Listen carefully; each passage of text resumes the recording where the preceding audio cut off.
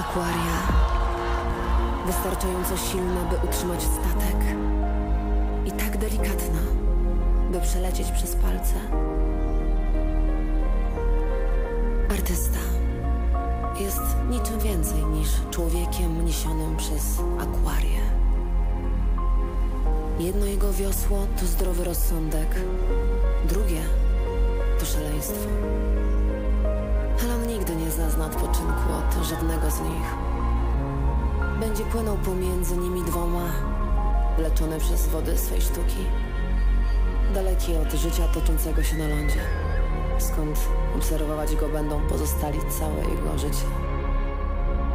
Akwaria, bo byłam na fali, byłam na dnie. Dziś jestem jak tafla wody, która przenosi mojego ducha, którego nie udźwignie wiatr, którego nie tknie ogień. Teraz już wszystko powinniście zrozumieć.